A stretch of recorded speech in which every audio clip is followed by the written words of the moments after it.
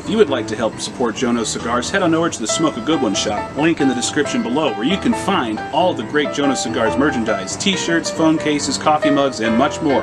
So head on over to the Smoke a Good One shop today and help support this amazing cigar channel.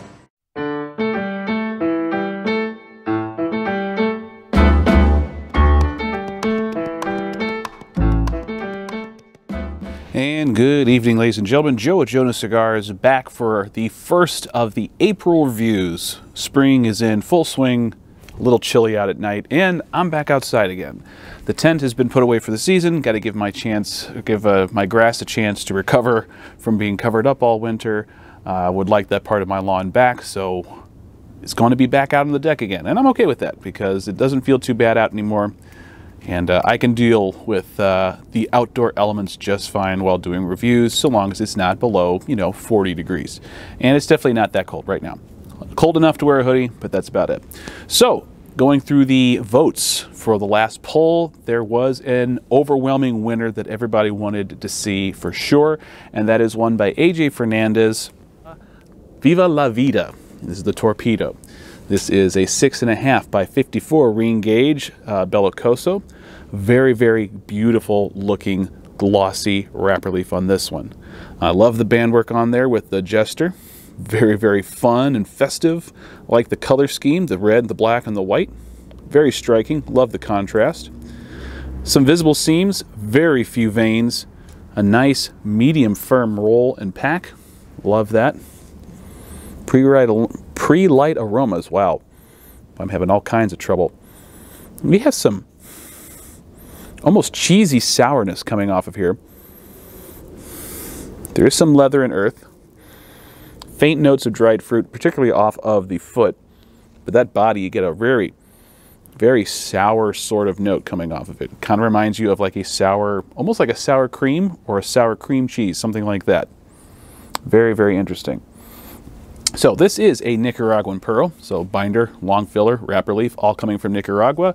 The specifics of this particular blend, uh, we have Criollo 98 long fillers, a Corojo 99 binder, and a very beautiful Habano Oscuro 2000 wrapper leaf all of it looks fantastic. I know this is uh, conventionally known as an AJ Fernandez blend. This is actually a collaboration between him and uh, Billy and Gus Fakih of Artesano del Tabaco, a boutique cigar company, and they uh, collaborated with AJ Fernandez to make this blend. So, haven't had this one before. Let's go ahead and get this one cut, toasted, see what we can find out.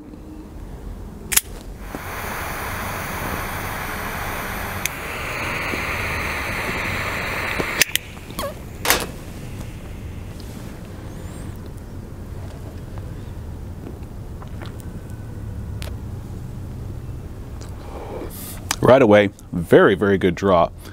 Even with that bottlenecking with the Bellicoso cap, draw is very effortless, very relaxed, am ample smoke output. Really is an enjoyable resistance on the draw there.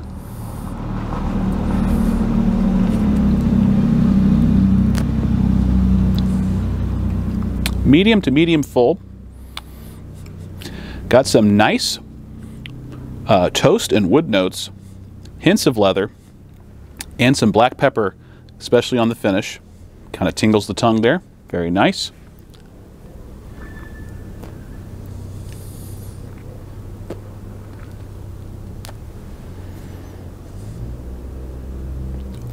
The retrohale is a very savory, almost salty cedar, and with black pepper in there as well. More toast notes coming through also.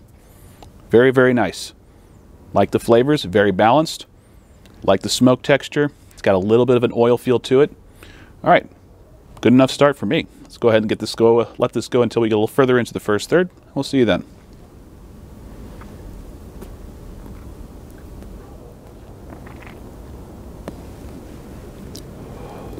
All right, 10 minutes in, well into the first third. Very good burn. Nice solid white ash. A few little flakes. Otherwise, a very good construction on this cigar. Still having a great draw, wonderful smoke output, still medium to medium full.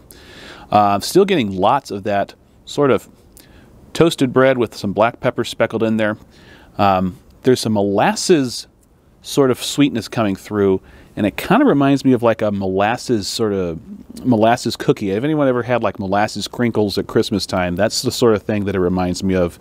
Kind of a cookie flavor. It's got that sweetness to it. It's got somewhat of a bready characteristic to it, um, but that molasses sweetness is kind of the driving force. And then on the retrohale,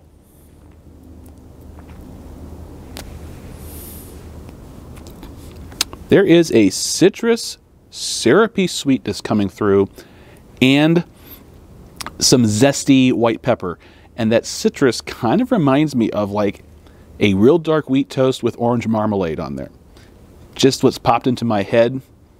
And it was it was kind of nice. I really did like that blend. I'm not a huge marmalade fan, but like a lot of things that I'll pick up cigars, I uh, will like it when it's in a, a smoke flavor or aroma form for whatever reason. So, pretty interesting little new, uh, note there. Liking it. All right, let this go until I get about halfway through the cigar. I'll see you then.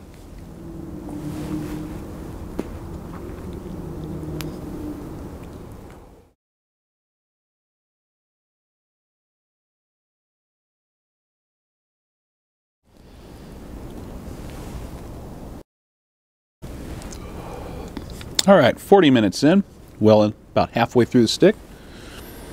Still pretty good burn.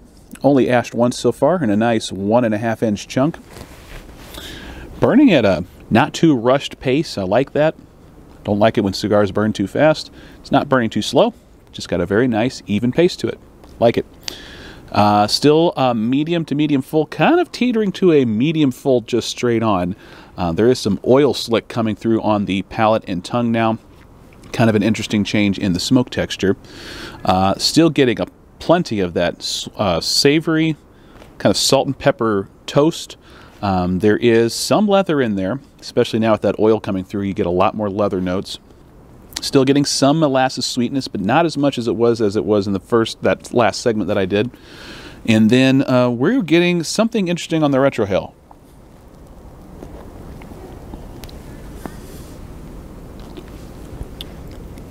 There is a musky sort of flavor coming through. Kind of rem reminds me of like a uh, kind of a musky goat cheese. Anybody's ever had goat cheese, you kind of know what I'm talking about. There's some bread notes in there, so it's kind of reminding me of goat cheese on a cracker. Fun little addition. Um, there's a white pepper on the retrohale as well. Citrus notes are still there a little bit, but they're not quite so marmalade-esque anymore. Just kind of a straight citrus zest along with that white pepper. Liking this one a lot. very interesting, and it's performing very, very well. Like the draw on this one a lot. Uh, it is hard to pull off a torpedo shape without the draw being overtly tight. Always kind of a pet peeve with me with most bellicosos, but when you get one that doesn't have that problem, well, I'm impressed. I like it, and this is one of those. So, good on you, AJ. Good cigar so far. Let this go until we get a little further in, probably towards the end of the cigar. I'll see you then.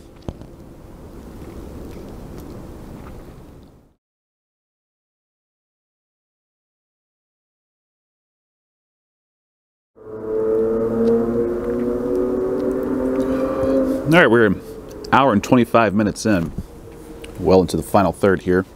Not quite to the nub, but I wanted to go ahead and start talking about the cigar because it is really starting to get get good here in the final third. Uh, right towards the end of the second third, we started to get a really, really intense cocoa butter that was coming through. Very balanced, not particularly sweet, but very oily, really coated the mouth. Love that texture, and I love that flavor. Um, also getting some sort of is either avocado or a banana. Eh, it's it's it's in between in there. Just kind of a really oily fruit note, not particularly sweet, but it was very noticeable. And we're getting now, also got some almond in there, very, very nice, kind of amaretto-esque, um, as opposed to it just being a straight nutty toasted almond. It was a very sweet, nuanced almond flavor, really enjoyable. We're getting some sort of, it's like some sort of creamy cheese, something like mascarpone, if anybody knows what that is, cream cheese, uh, something like that, very savory, very, very smooth delicious. Um, there is some white pepper going on in there, and there is some uh, cedar wood coming in through on the draw as well. Really, really nice combination of flavors, and they're all balanced very, very well. on the retrohale.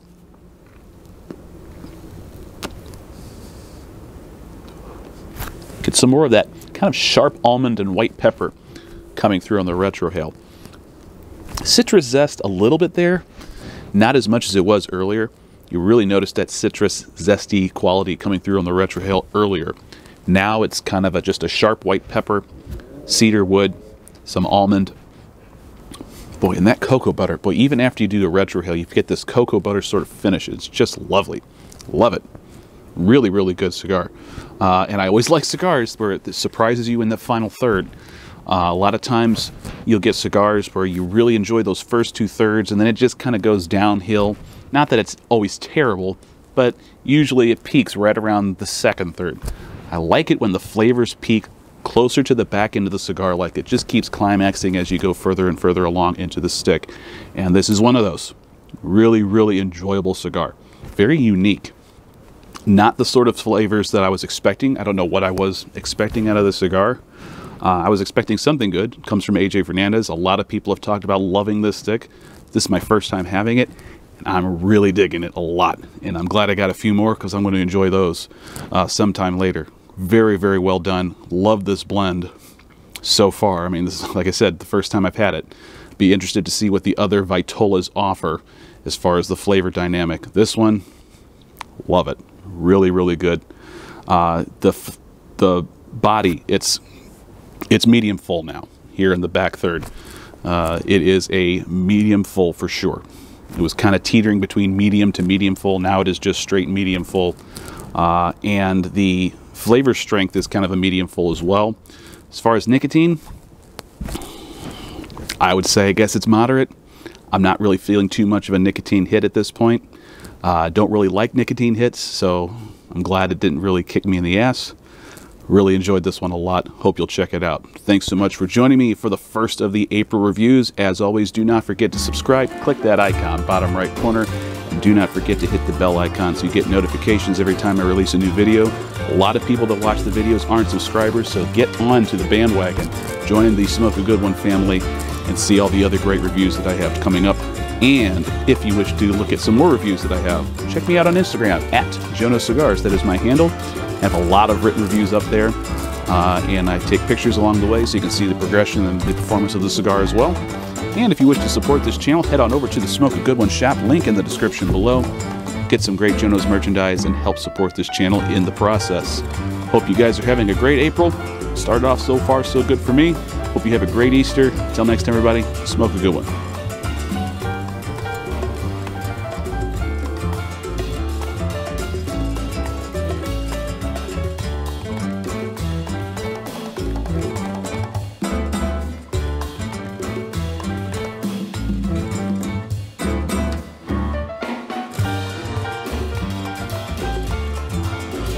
Thanks for watching Jonose Cigars. If you like this cigar video, as I'm sure you do, otherwise why would you be here? You might want to subscribe to this awesome cigar channel by clicking this head right here.